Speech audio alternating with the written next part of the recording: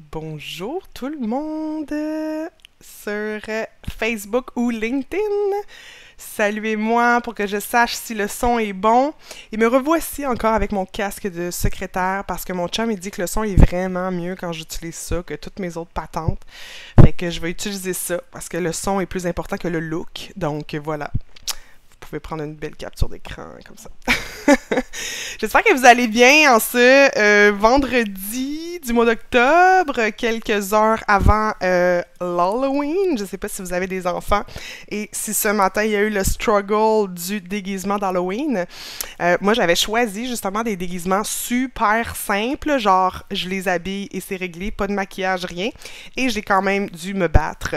J'ai dû dire à mon fils que s'il mettait son déguisement, je lui donnerais une boîte de Smarties. Donc, mauvaise mère que je suis, mais voilà. Et je voulais aussi faire une photo pour les grands-mamans. Donc, j'avais pas le choix, je devais soudoyer mon fils. Donc, j'ai des gens qui me saluent. Allô, Linda! Allô, Kevin! Yeah, Kevin! Et Kevin, Kevin, c'est un de mes clients qui est au Saguenay et qui est euh, ébéniste. C'est Souvenir du hangar. C'est débile ce qu'il fait. Et euh, je vais bientôt recevoir un petit cadeau par la poste et euh, je vais vous montrer ça c'est trop beau.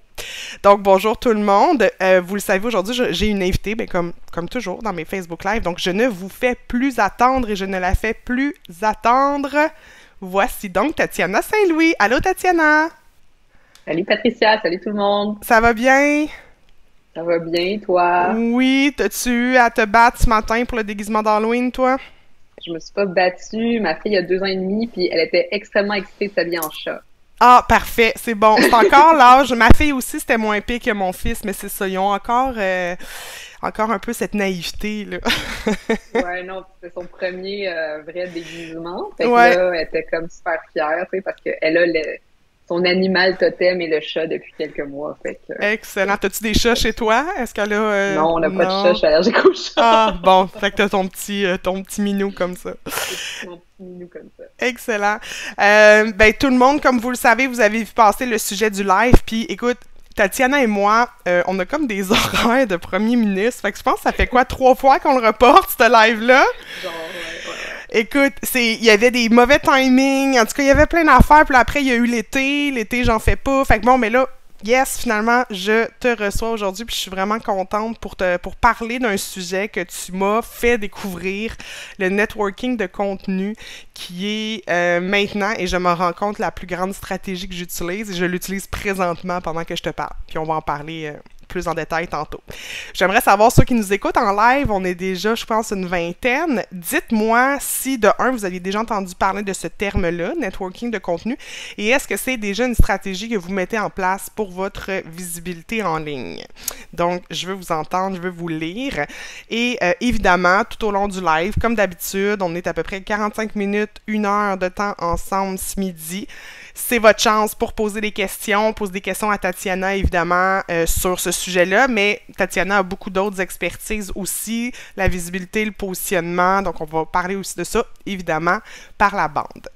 Mais dans un premier temps, moi, à chaque fois je reçois un nouvel entrepreneur sur mes plateformes, parce que tu n'es pas nouvellement entrepreneur, mais pour mes plateformes, oui. Mm-hmm. Euh, je veux savoir, je veux que tu nous parles un peu de ton, de ton parcours, de ton background et qu'est-ce qui a fait que tu as fondé cette entreprise qui est Aime ta marque. Fait que si on retourne un petit peu là, dans, dans le temps.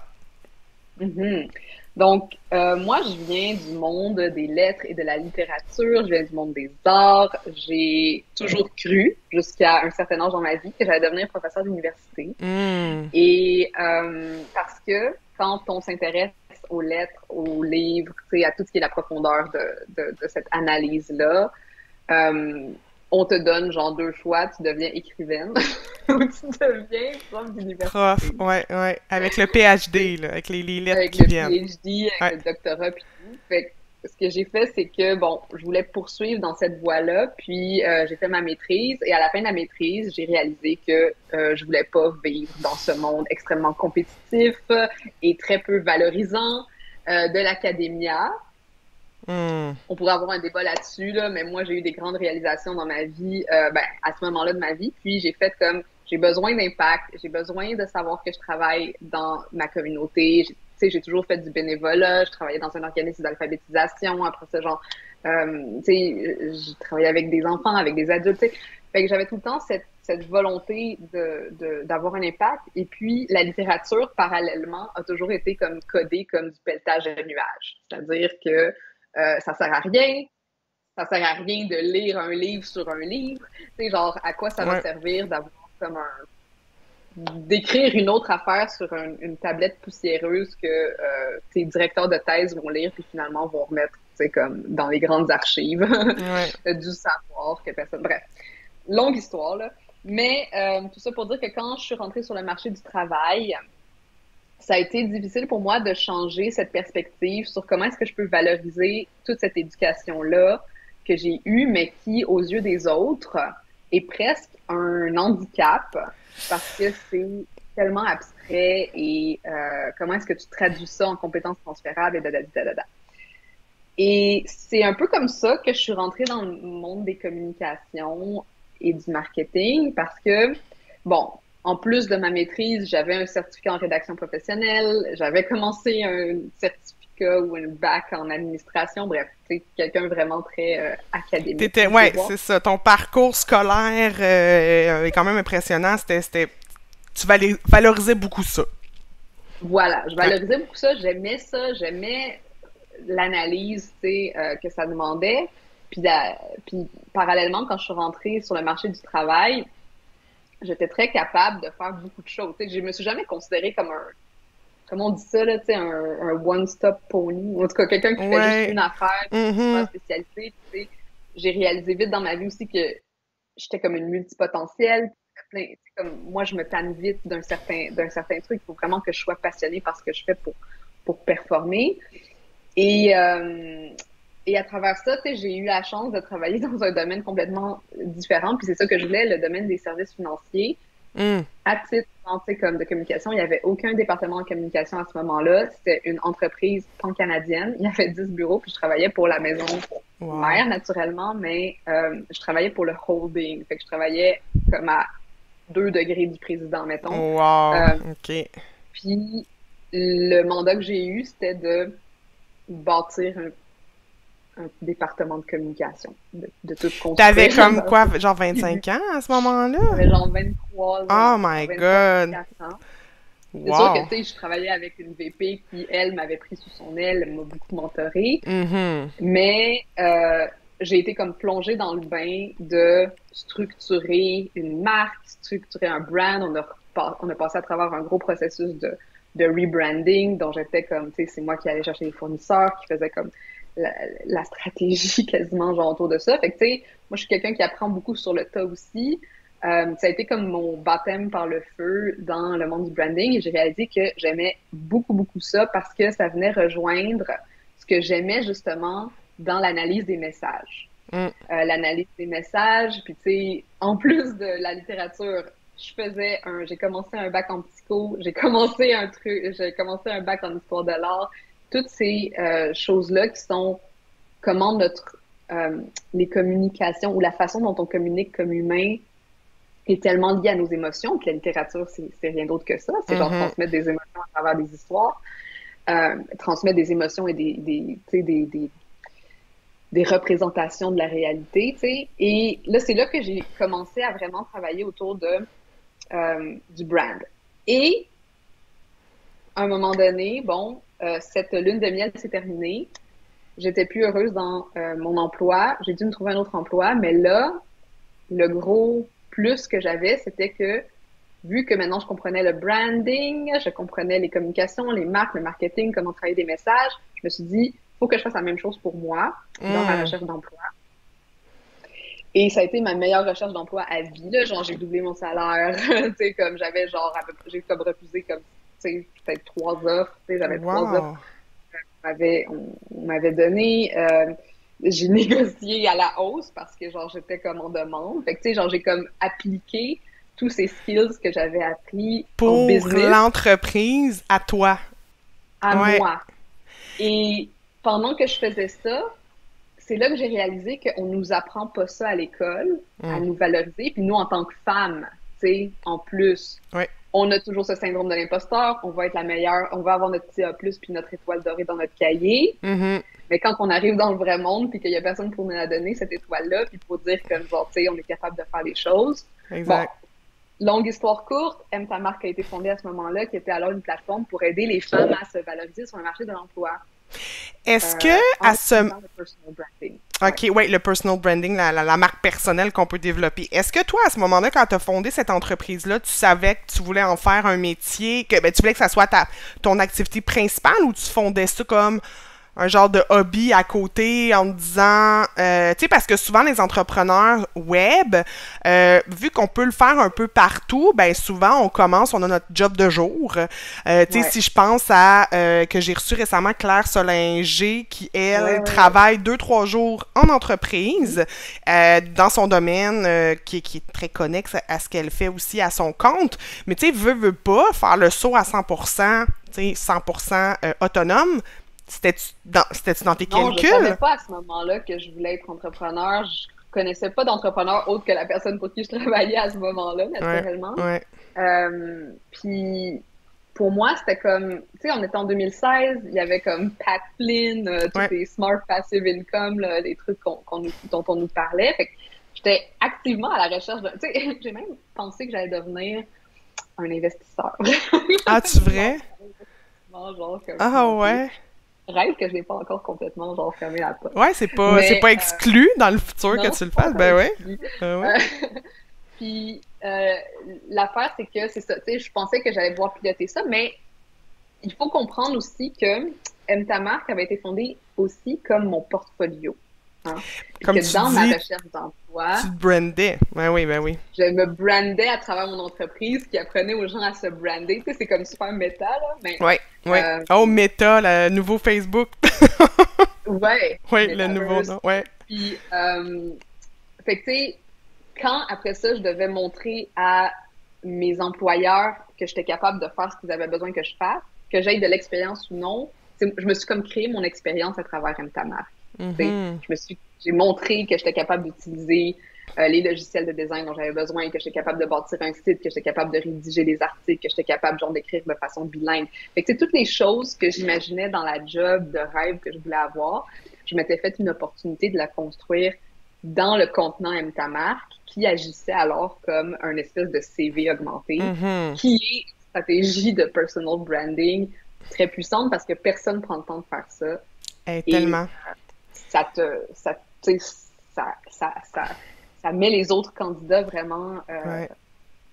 Ben, tu as une longueur d'avance. Ben oui. euh, tu sais. Pour, pour les gens qui nous écoutent, qui sont en entreprise, on le sait très bien, tous les, ent- les, les, les, les patrons, les gestionnaires vont nous googler avant, vont vouloir savoir. Là, c'est vrai que dans un contexte de pénurie de main-d'œuvre, tu sais, souvent, on est capable d'avoir des jobs plus facilement, peut-être que le 10 ans, là, tu sais, parce que moi, je sais, quand j'ai commencé, il fallait que je me batte pour ma première job, parce que j'avais zéro expérience, puis ma première job, c'était quasiment, on me faisait une faveur de me dire, on va te Mhm. prendre, là, mais, tu sais, prouve-nous que, qu'on fait pas erreur, là, tu sais. fait une erreur, Ouais, ouais. Non, mais c'est ça, tu sais. Puis c'est toute cette histoire de bâtir son écosystème, tu sais, qui après ça me et encore aujourd'hui la base de ce que j'apprends aux gens, c'est comment est-ce que tu peux utiliser les outils qu'on a tous à notre portée, que le web a ouvert pour nous, pour valoriser ce qu'on fait, travailler les messages qu'on veut envoyer, déterminer genre notre edge compétitif dans le fond, et ensuite aller trouver cette espèce de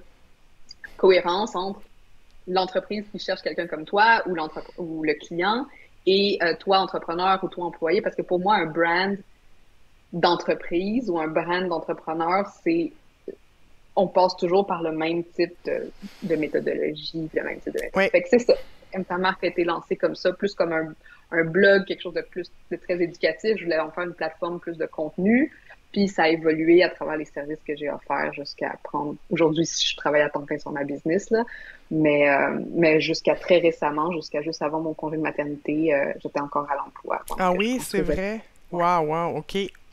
Puis, euh, tu t'en parles aussi de, cette entreprise-là que tu as fondée. T'as- T'as mis rapidement en place des stratégies de référencement naturel, de SEO, de, création de contenu qui, tu sais, moi, c'est ce que j'ai, puis tu le fais aussi, là, tu sais, c'est ce qu'on apprend à nos clients à faire, c'est ce qu'on dit, tu c'est comme ça que ça va fonctionner.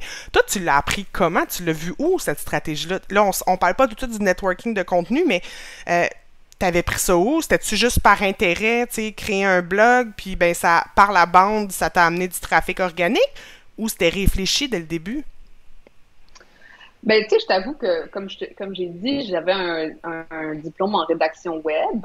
Fait un peu en rédaction en Rédaction, euh, oui. en, rédaction professionnelle. Mm-hmm. Dans ça, il y avait, ben, tu sais, c'est sûr qu'on t'apprend les branches, donc si tu veux écrire dans un journal, tu sais, comme voici les styles, tu sais, si tu veux tirer des discours politiques, on t'apprend à faire ça.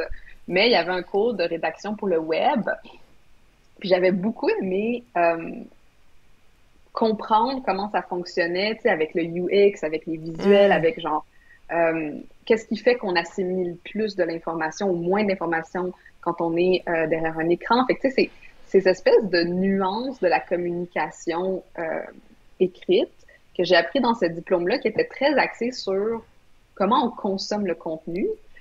Et euh, ben c'est sûr que de par la bande, quand on commence à googler, puis les Américains sont beaucoup plus en avance que nous, puis ils ont toujours été, tu sais. Quand j'ai commencé à faire mes recherches, tu sais, le personal branding, même encore aujourd'hui, je dois encore l'expliquer, mais en 2016, personne n'utilisait ce terme dans la francophonie, branding personnel. En plus, le, le, mais puis moi, quand je l'entendais, c'était comme, c'était Ricardo, Véronique Cloutier, c'est que mm-hmm, si tu mm-hmm. te brandais, c'est que tu avais accès à un bassin énorme de gens. Puis là, on s'est rendu compte dans les dernières années que tout le monde pouvait appliquer cette stratégie-là, que tu n'étais pas obligé d'être Véronique Cloutier pour pouvoir. Non, exactement. Puis c'est un des premiers articles que j'ai écrit sur mon blog. Ah oui, c'est vrai? comme, que tu sois Kim Kardashian, Véronique Cloutier était mon exemple. C'est vrai. Genre, toi, tu peux, tu, tu peux bénéficier de ces stratégies-là. Euh, que tu sois en emploi, que tu sois un entrepreneur, genre, de nos jours, on est des entrepreneurs de notre vie. Et moi, ma philosophie, c'est qu'il n'y a aucune porte fermée, jamais. Mm.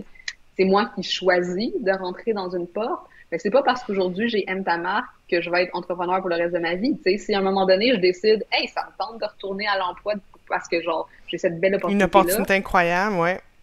Pourquoi pas? moi, j'ai pas de. Tu sais, comme j'agis au service de ma vie selon ma vision, tu sais, puis c'est ça l'important. Après ça, c'est de développer la vision pour soi, puis d'être en contact avec cette vision-là, puis de pas sentir qu'on est, euh, dans le fond, c'est reprendre le pouvoir sur ce qu'on peut devenir, tu sais, et de pas sentir qu'on est à la merci euh, des circonstances, qu'on est à la merci, oh, il y a peu de clients qui veulent ça, ou tu sais comme, euh, il faut que je paye les factures, alors que on est capable de reprendre ce pouvoir sur nous-mêmes, puis de de, le développer. Fait que, pour en revenir à ta question sur le SEO, ça a été, la graine a été plantée pendant mon, mon, mon, diplôme. Mm-hmm. Euh, mais après ça, ça a été du self-taught euh, self parce que je savais que je devais commencer avec une de mes forces qui était l'écriture.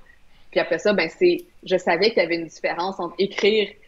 Puis ça, je l'ai pas dit, mais ça c'est intéressant, c'est que j'ai eu un gros bloc créatif après l'université parce que j'étais juste habituée à écrire des essais Le blog, pour moi, ça a été il faut que je me réapproprie ma voix mm.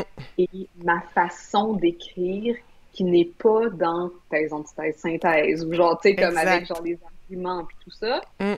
c'était comme un, un lieu d'expérimentation pour aller connecter à un autre niveau avec ce que j'avais à dire, mais aussi avec les gens.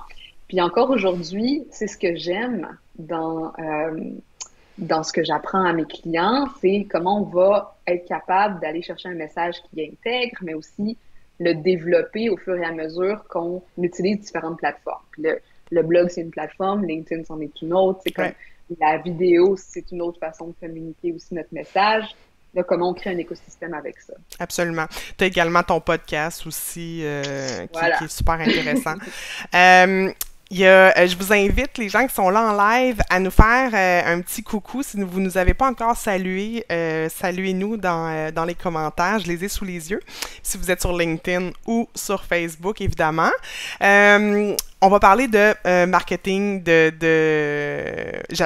J'arrête pas de j'ai tout le temps marketing de réseau là, qui me vient en premier, puis c'est tellement pas ça. Là. Network, networking de contenu. OK? Bon. Allô Isabelle, salut, comment ça va? Je suis contente de te voir là.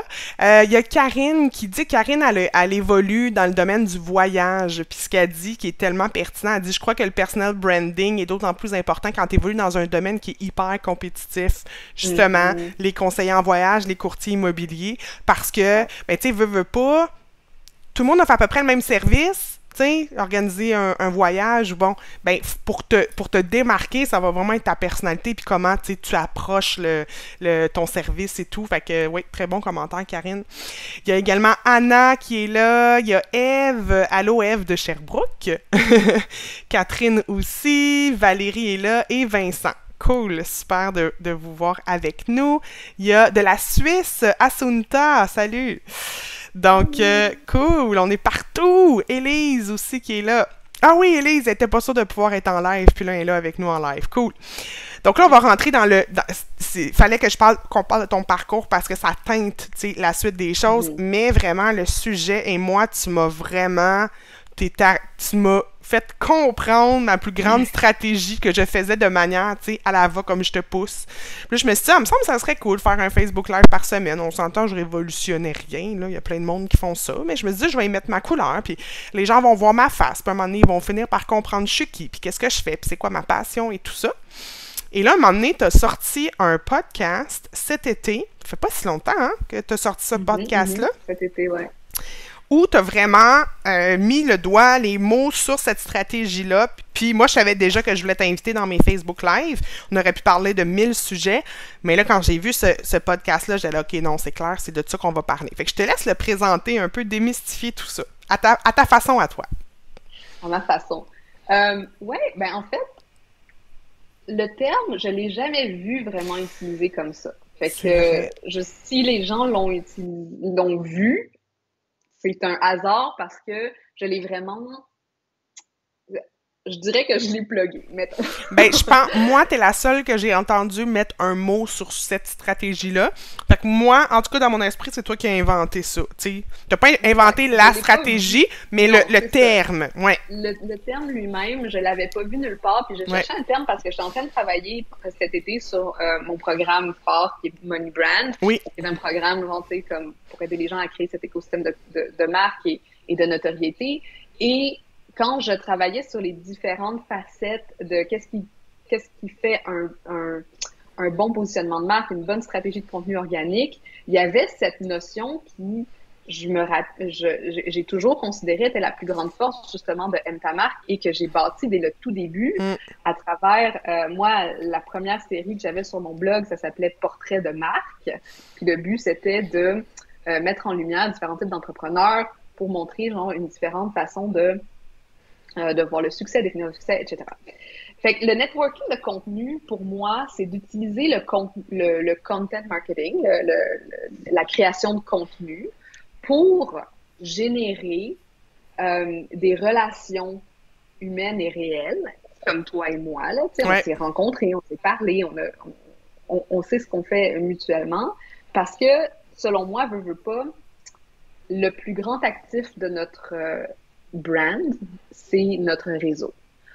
Et ce réseau-là, euh, quand on est ça, quand on est un nobody ou quand on n'a pas de ben, présence. Mais quand on commence, tu sais, puis c'est pas euh, péjoratif, c'est une réalité, là. Non, c'est ça, parce que c'est juste qu'on est nullement visible, personne nous connaît, on n'a rien, aucun actif à, notre euh, associé à nous. Mm-hmm. par où est-ce qu'on commence à bâtir ce réseau-là parce que c'est pas vrai qu'on va faire fortune uniquement, ou tu sais, on peut souhaiter, mais ça va être très rare, uniquement parce qu'on va créer contenu viral sur contenu viral sur contenu oh viral. Oh boy, oui, le fameux contenu viral. Et que là, on va devenir un influenceur Instagram avec genre, si, on, si, seulement on publie juste assez de Reels par, par semaine Ouais. et si, euh, tu sais, on a 10 000 abonnés et da da da da da. Parce que moi, ce que j'ai remarqué dans tout mon cheminement et que ce soit euh, quand j'étais entrepreneur à temps partiel ou encore aujourd'hui, c'est que la force de ma notoriété représente dans tous ces gens comme toi, comme, comme tu sais, j'ai en tête Mathieu Dumont, euh, Alexandra Martel, Geneviève Oui. Gauvin, tu sais, comme des entrepreneurs qu'on connaît ici dans le paysage euh, francophone, qui vont, dans un sens, donner leur vote de confiance sur mon expertise, Oui. m'inviter ensuite, genre, à parler sur leur plateforme, référer mes articles parce que ils sont bien écrits, ils sont intelligents, ils sont, tu sais, et c'est comme ça qu'au fil du temps, on crée notre capital de notoriété. tu sais. C'est Absolument. grâce aux gens. C'est c'est un peu comme la bourse. Puis ça, c'est ça que j'aime comme utiliser comme euh, comme euh, analogie, c'est que tu sais un- une action en bourse, elle va prendre la valeur quand les investisseurs sont prêts à mettre leur vote de confiance sur cette entreprise-là. Et nous, quand on crée un capital de notoriété, c'est la même chose. C'est qui sont prêts à me backer devant mes clients pour dire oui, elle, j'ai confiance dans son expertise, j'ai confiance qu'elle peut livrer la marchandise qu'elle dit, j'ai con- j'ai tellement confiance que je vais la mettre, je vais la feature dans euh, dans mes contenus, etc., etc. Mm. Et ça, ben tu sais, mêlé aux stratégies SEO, parce que le SEO, qu'est-ce que c'est si c'est pas genre un vote de confiance sur le contenu, Exact. tu sais? Absolument. Euh, C'est exactement ça. stratégies Ouais. SEO, c'est ça qui crée qu'une marque va arriver en premier dans les résultats de recherche, mais après ça, genre se démarquer dans un pool d'employeurs parce que effectivement, tu sais, c'est comme j'ai entendu parler de toi par, j'ai, en- tu sais, c'est comme ça que le bouche à oreille se fait de la bonne façon selon moi. Absolument. Fait que tout ça, attends, je vais juste terminer. Vas-y, vas-y, vas-y, parce que j'ai plein de questions, mais vas-y. Fait que, tu sais, si on est capable, nous, de créer des plateformes ou des sources de contenu qui vont accélérer euh, la mise en relation avec des gens que nous, tu sais, dans lesquels nous avons confiance et qu'on aimerait qu'ils aient confiance en nous, parce que dans les stratégies de networking de contenu, c'est important qu'on on soit connecté à des entrepreneurs qui ont notre vision aussi. Absolument. C'est pas n'importe qui qu'on veut. On veut pas se faire repérer par n'importe qui, n'importe comment. Ça peut jouer Euh, l'effet inverse. Hein? Exactement. Ouais, ouais. Fait que, tu sais, comme là, par exemple, là, j'ai parlé de mes portraits de marque quand c'était un blog, mais tu sais, je veux dire, j'ai eu une équipe qui avait écrit pour moi sur Marque pendant de nombreuses années. J'ai comme parlé à des PDG, genre d'entreprises, genre Caroline Ménard. Tu sais, comme euh, j'ai des gens que j'aurais jamais été en contact si on avait juste dit bonjour, je suis Tatiana Saint-Louis ou bonjour, je suis Tatiana Saint-Louis, fondatrice d'Emtamarque, dont la mission est et euh, j'aimerais vous interviewer pour ma pour ma plateforme. sais. Absolument. Puis, euh, tu sais, toi, tu as le terme aussi que j'aime beaucoup qui est intentionnel. Parce que moi, tu sais, je l'ai dit d'entrée de jeu, c'était une stratégie que j'ai mis en place qui était. Tu sais, moi, à la base, c'était juste pour créer du contenu facilement, parce que, veux, veux pas, il y a juste 24 heures dans une journée. Donc, je me suis dit, ben, je veux créer du contenu. J'étais pas le temps d'écrire un article de blog par semaine, donc je vais faire un live par semaine. Faire un live par semaine tout seul, tu sais, c'est quasiment plus de travail que d'écrire un article de blog, tout de préparer ton contenu. Fait que, tu sais, je suis un peu allée vers la facilité en invitant des gens. Après, bon, il faut que les gens acceptent. Fait que là, tu as quand même un petit travail aussi parce qu'il faut que les gens voient ta crédibilité. Mais ça, c'est. Ça vient avec le temps aussi. Mais toi, c'est le terme intentionnel qui m'a encore, tu encore plus sonné une cloche. Qu'est-ce que tu entends par ça? Ben, en- intentionnel, puis encore une fois, tu sais, pour moi, c'est c'est une chose de dire à quelqu'un, publie trois fois semaine, puis, euh, tu sais, advienne que pourra, et euh, voici les stratégies très techniques, mais intentionnel, pour moi, c'est intentionnel sur le message qu'on veut communiquer, sur l'angle qu'on veut communiquer, sur l'ambiance qu'on veut avoir, genre, auprès de notre public, sur comment on veut faire sentir les gens quand ils nous écoutent. Et pour moi, tu sais, quand on choisit de qui on s'entoure, ils font on, les invite à faire partie de notre marque. Exact. Puis après ça, ben quand moi je regarde, là, je suis en train de regarder tous les contenus qui ont été publiés sur mon site récemment, tu sais. Là, quand je regarde, tu sais, est-ce que si je voyais le, le scope des invités que j'ai en ce moment sur mon podcast, par exemple, tu sais, qu'est-ce que ça dirait sur ma marque et qu'est-ce que ces gens ont tous aussi à apporter à ta marque? Ben là, je renforcie encore une fois euh, les valeurs, le message et, euh, et, et, la vision. Fait que, pour moi, intentionnel, c'est pas tant de juste dire comme, mais là, est-ce que je vais faire de l'argent en invitant cette hmm. personne-là, ou est-ce que j'ai quelque chose à tirer, genre, de cette personne-là, puis de vraiment rendre ça très utilitaire, mais vraiment de dire, dans mon monde idéal, encore une fois, tu sais, qui sont des gens qui ont des, des valeurs comme les miennes et qui vont être capables de... Et, et de pour qui j'ai du respect assez pour vouloir qu'ils euh, soient dans mon univers, ouais. et moi dans le leur. Exact. Est-ce que tu est-ce que tu vois un côté comme néfaste ou pervers à cette stratégie-là de dire, tu sais, parce que des réseaux, après, c'est des petites clics, puis c'est sûr que de faire partie d'une clique ou d'une autre peut, sans dire qu'on est associé à toutes les personnes qui sont dans cette clique-là, mais est-ce que ça peut pas être faire comme, ah ben, elle ou lui, c'est il est dans ce clic-là, puis dans ce réseau-là. Tu vois-tu un danger? Ben, je vois un danger, puis pas un danger. Tu sais, dans le sens que moi, j'ai toujours été de l'idée, si quelqu'un a une volonté d'apprendre à me connaître, puis ils sont intéressés par ce que je fais, puis tout ça, je m'en fous dans quel clic ils sont, tu sais. Genre, la porte est ouverte. Euh, mais il y a des gens qui fonctionnent beaucoup par clic et qui vont pas vouloir sortir de cette clique-là et qui sont très sectaires dans leur façon d'approcher les relations. Puis ça, ben, tu sais, tant mieux pour eux, mais c'est dommage, tu sais. Mais moi, j'ai toujours, je me suis considérée comme un agent libre, là, puis, mm. tu sais, euh, c'est pas... Moi, même, au secondaire, je voulais pas être dans une clique, tu sais, j'en jamais voulu être dans une clique. Mais je vois des tendances dans les types d'entrepreneuriat, puis encore une fois, quand je disais intentionnel, tu sais, c'est comme ces gens-là des valeurs d'affaires différentes. Il y a des modèles d'affaires, il y a des façons de faire des choses que moi, je suis comme moins à l'aise d'être, par exemple, invité sur un podcast qui, euh, tu sais, qui a des pratiques d'affaires ou des pratiques de marketing auxquelles j'adhère. Que t'endosses pas, ouais. Que j'endosse pas. Fait que, tu sais, après ça, ça, ça crée des clics parce que c'est des, c'est des styles, tu sais, d'affaires. Puis des fois, ça donne que ça vient avec certaines générations aussi d'entrepreneurs web ou, tu sais, euh, il y a plein de façons de voir la chose, mais euh, souvent aussi, ça va être dans le public à qui on va parler. Tu sais, on n'est pas, mm. on n'est pas tous du bout de tout le monde, mais tu sais, on, on, voit des tendances de dire comme les gens en général qui, qui aiment le style de telle personne vont souvent suivre telle personne aussi, puis ça donne que dans la vraie vie, ben, on devient des amis entrepreneurs exact, parce ben, parce que derrière, on est des humains aussi, là, puis veux, veux pas, tu t'entends bien avec des personnes des fois plus qu'avec d'autres gens puis comme tu sais ça peut être des questions de valeur ça peut être des questions d'intérêt ça peut tu sais il y, a plein de choses qui entrent en ligne de compte hein. Ouais, puis tu sais, si je veux dire, moi, j'écoute un podcast, puis je l'aime full, puis je veux comme le partager, puis après ça, ça donne que, tu sais, c'est une, une personne que je connais, puis que je respecte beaucoup pour son état entrepreneurial, ben tu sais, je vais juste avoir encore plus envie de le partager à ma communauté parce que je pense que cette personne vaut la peine d'être découverte. Absolument. Puis, euh, tu sais, dans mon infolette, quand j'ai annoncé le live, tu sais, je parlais beaucoup de euh, compétiteur versus collaborateur parce que veux, veux pas, si tu veux te faire connaître par d'autres communautés, ben, il faut que ces gens-là soient dans la même industrie que toi. sais si j'invite des gens dans l'industrie de l'alimentation, ça me rapportera pas grand-chose. Est-ce que toi, la ligne, comment tu la vois, cette ligne-là, entre collaborateur, compétiteur, cette complémentarité-là? Est-ce que tu, tu y penses beaucoup?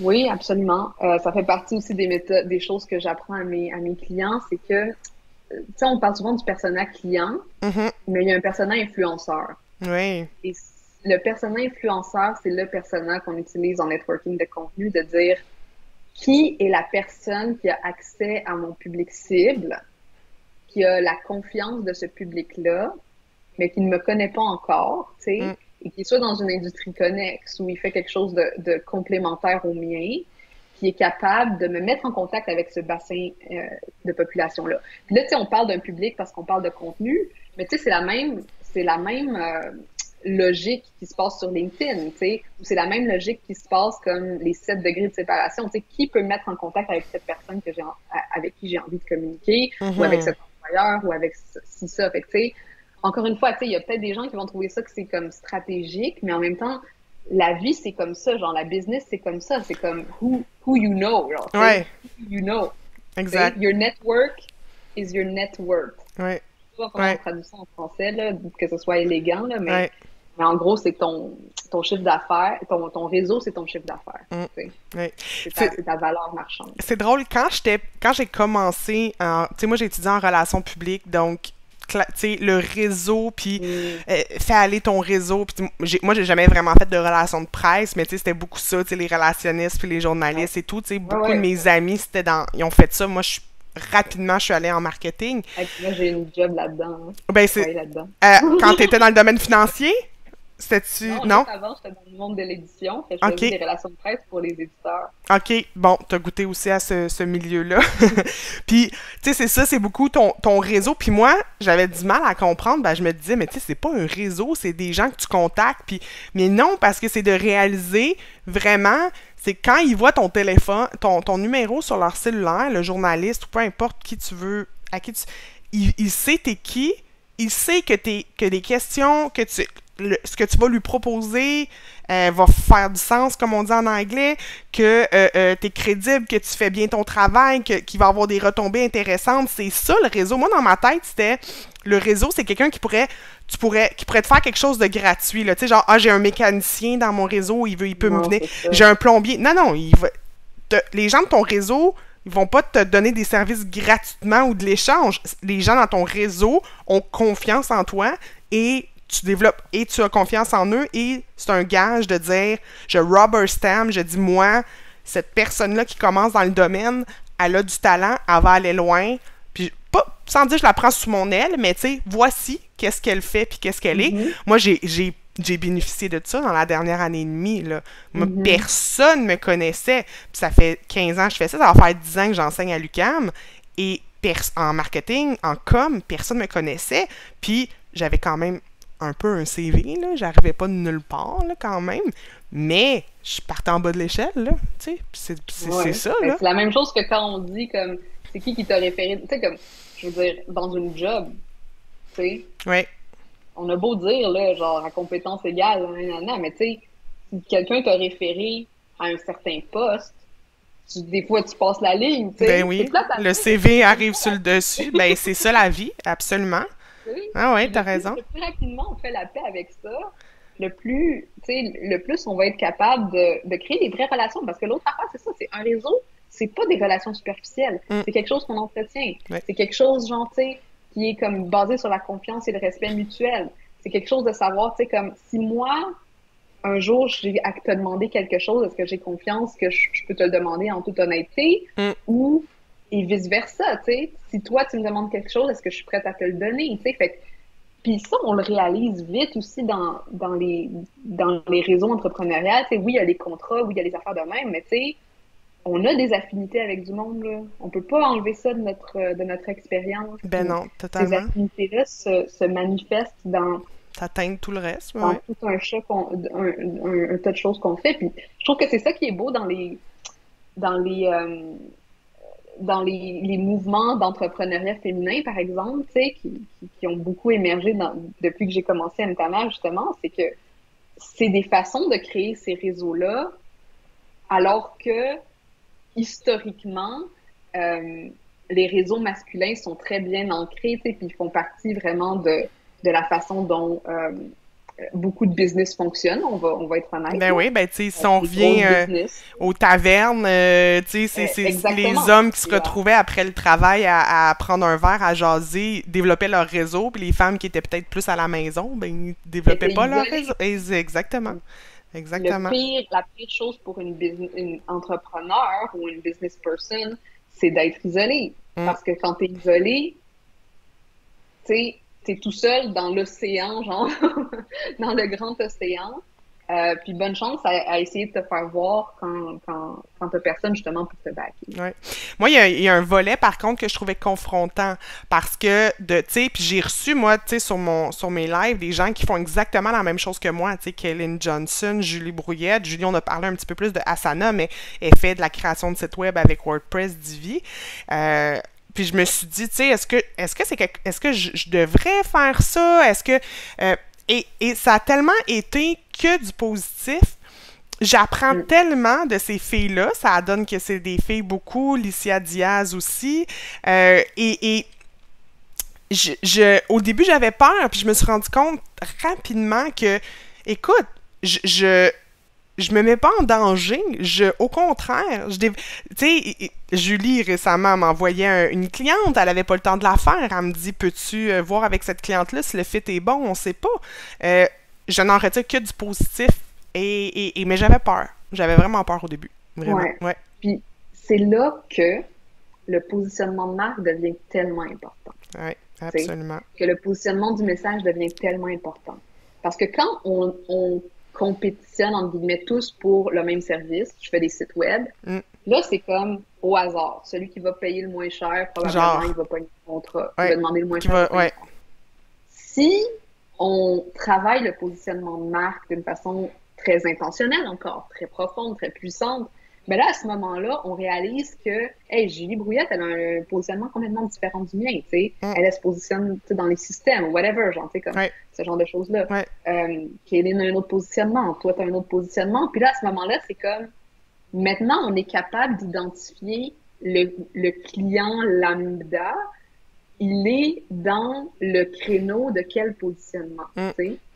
C'est un, un client idéal pour a, B ou C. Absolument, oui. Avec, avec qui va être le mieux servi, puis que de, même s'il si, ne connaissait pas les autres qui venaient vers moi, c'est peut-être pas moi non plus qui va mieux le servir, puis je vais peut-être avoir moins de plaisir avec ce client-là au final, tu sais. Puis après, oui, c'est les signes de pièce au bout de la ligne, là, parce que veut, veut pas, on fait ça pour gagner notre vie, mais tu sais, on fait ça aussi pour avoir du fun. Mais avec le positionnement, ça sera même plus le signe de pièce. C'est ça qu'on veut arrêter comme... comme c'est sûr que quand tu n'as pas de positionnement, puis ton positionnement, c'est je fais des sites web, pas un positionnement. Non, c'est le service, ouais. Mm. C'est ça. Il y a une, différence entre service qu'on offre et positionnement, offre de service et positionnement. Puis c'est là que, euh, ben c'est ça.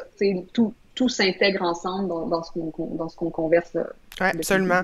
Je vais aller dans les commentaires. On a deux Elodie qui nous saluent, Elodie Eustache et Elodie La Boutique. Est-ce que tu les connais? oui, je les connais. Salut! Super! Il y a euh, Chantal Bouchard, ma, ma belle amie, qui dit le cliché des contrats qui se concluent sur le terrain de golf. C'est ça, hein? Voilà. C'est exactement ça. Euh, j'aimerais vous entendre, les gens qui sont là encore en live avec nous. On est une vingtaine. Merci d'être là. Euh, dites-moi si vous avez déjà mis ça en application. Si vous êtes en entreprise, autant, tu sais, euh, en entreprise qu'entrepreneur, j'aimerais beaucoup vous entendre. Puis, tu sais, la notion d'intentionnel aussi, c'est euh, tu sais, comme, comme je le disais au début, je reviens, je reviens beaucoup à mon expérience parce que veux, veux pas, ça m'interpelle mm-hmm. tellement, ça, me, ça me parle tellement. Euh, dans la dernière année, j'ai beaucoup fait ça, le, créer du contenu euh, avec des gens, bon, via mes Facebook Live ou autres, sans vraiment que ça soit euh, que ça soit logique, si on veut, dans mon année, par exemple. Et je me suis rendu compte que ça avait encore mm. plus de poids quand c'était, disons, accompagné d'un article de blog. Euh, donc, s'il y a un article de blog sur le sujet, bon, là, j'ai mes infolettes, évidemment, mais c'est juste ma, c'est ma liste qui a accès à ça, c'est pas euh, nécessairement public, mais un article de blog qui va aller un petit peu plus en profondeur dans le sujet, qui va donner des ressources, etc., ben, je pouvais faire vivre mon contenu encore plus longtemps il y a des gens que les Facebook Live, ça les intéresse pas. Ils ont plus le goût de lire un contenu, ils ont plus le goût d'écouter un podcast dans le métro ou quoi que ce soit. Mhm. Euh, donc, de, de, de, créer mes contenus et de les faire vivre de différentes manières, c'est comme ça que j'ai réalisé que je pouvais avoir encore plus de retombées. J'imagine que c'est un peu quelque chose que tu enseignes aussi, hein, veux, veux pas. Euh, que ouais, c'est ça, comme le recyclage de contenu, euh, comment pas devenir esclave aussi de notre de notre contenu, tu sais. Oui. Oh Mais euh, tu me parles. c'est devoir toujours créer, créer, créer ouais. Ouais. D'où l'idée de, encore une fois, tu sais, puis là c'est drôle parce que je suis en train de, de créer un, une leçon parce que Money Brand est en, version encore euh, bêta, fait que je suis en train de, de, créer certains des contenus. Puis là, le contenu que je suis en train de créer, c'est sur les objectifs de contenu, tu sais, puis de comprendre ce contenu que je suis en train de créer, il va remplir quel objectif, tu sais. Ouais. Est-ce que je vais être en un objectif de vente, conversion? Est-ce que je vais être dans un objectif de notoriété, plus réseau? Est-ce que je vais être dans un objectif de nurturing avec mes clients actuels? sais? Et puis, quand on commence à, sans nécessairement toujours le systématiser, mais quand on commence à réfléchir, de dire, tu sais, là, je suis en train de juste faire des, des contenus de visibilité en espérant justement que j'aille des vues sur mon site, mais après ça, j'ai aucun contenu de conversion, j'ai aucun contenu de notoriété. Mm. Euh, mon, mon écosystème est débalancé, tu sais, parce que je suis pas en train d'adresser les bons. Euh, ben, pas que je suis pas en train d'adresser, tout ça est bon, mais euh, ils vivent tous ensemble. Ouais. Ils vivent tous ensemble. Puis, tantôt, tu parlais de relations de presse puis de relations médias, puis ça, c'est un, un, un domaine fascinant aussi, mais tu sais, comme le fameux kit média, puis de, de, de juste s'a- s'arrêter puis dire, tu sais, hey, euh, l'autre fois, j'ai invité une entrepreneur euh, sur, mon, euh, sur mon podcast, puis elle m'a dit, je veux savoir qui t'a invité sur le podcast avant moi. Mm. Tu sais, parce que pour elle, son image était importante de savoir qu'elle allait pas rentrer dans parce qu'elle a eu peut-être de la mauvaise presse par le passé. Et c'est ça. Des fois, les gens, tu sais, un chat échaudé craint l'eau froide ou l'eau chaude. Voilà. Je sais plus trop l'expression, mais oui, oui. Pour elle, savoir voici qui j'ai invité. Donc, tu as une idée de l'angle de mon, de mon podcast, ouais. mais aussi voici, si tu veux écouter une entrevue, tu peux avoir une idée du ton Mm. que j'ai.